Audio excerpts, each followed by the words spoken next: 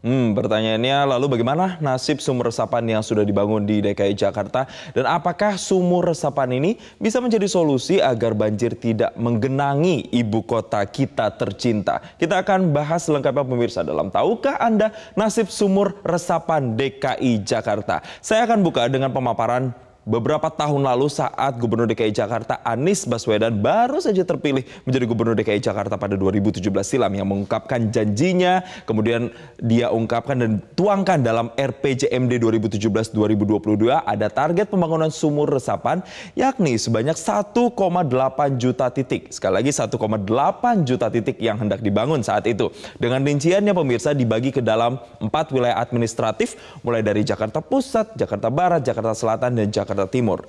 Mulai dari yang pertama di Jakarta Pusat misalnya ada 82 ribu lebih sumur yang dibangun, kemudian ada di Jakarta Barat sekitar 311 ribu lebih yang dibangun, kemudian di Jakarta Selatan ada 364 ribu sumur, sementara di Jakarta Timur ada 428 ribu lebih sumur.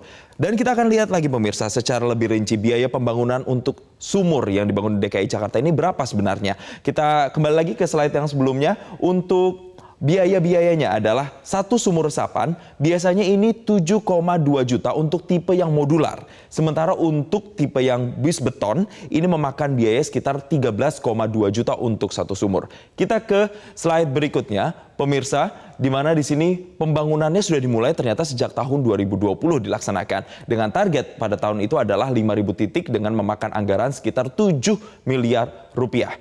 Sedangkan di tahun 2021 target awalnya yaitu 150 ribu titik dengan anggaran 411,43 miliar yang kemudian dikoreksi menjadi 26.932 titik. Kita lihat bagaimana sebenarnya realisasinya. Kita akan tampilkan informasi grafis berikutnya. Realisasinya di tahun 2021 di Februari misalnya sudah terbangun 3.964 titik sumur resapan.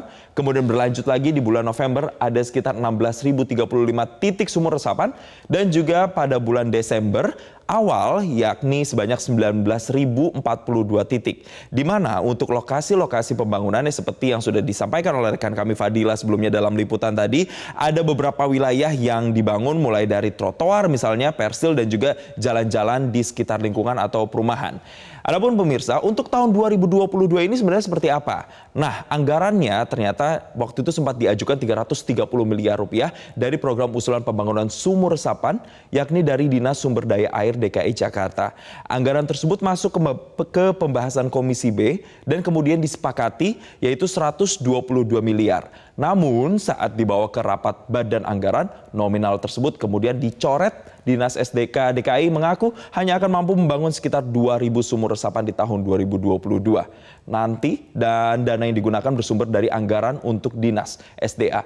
Kita lihat lagi pemirsa, dalam perjalanannya pembangunan sumur resapan ini banyak menghadapi polemik seperti yang dikatakan di informasi sebelumnya atau obstacles. Nah, di DPRD DKI Jakarta pemirsa. Kita lihat dalam slide berikutnya. Ini resmi menghapus anggaran sumur resapan dalam rapat Badan Anggaran Pembahasan Final RAPBD 2022 yang diselenggarakan pada 24 November 2021 yang pada saat itu adalah anggarannya sebesar 322 miliar yang kemudian menjadi 120 miliar.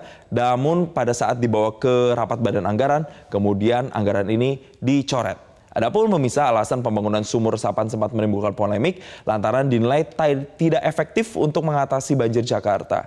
Selain itu pembangunan sumur resapan dinilai juga merusak sejumlah jalan yang sebelumnya dalam kondisi mulus dan sumur resapan yang dibangun di sisi jalan ibu kota justru dianggap merusak dan mengambil sebagian badan jalan sehingga menghambat laju lalu lintas.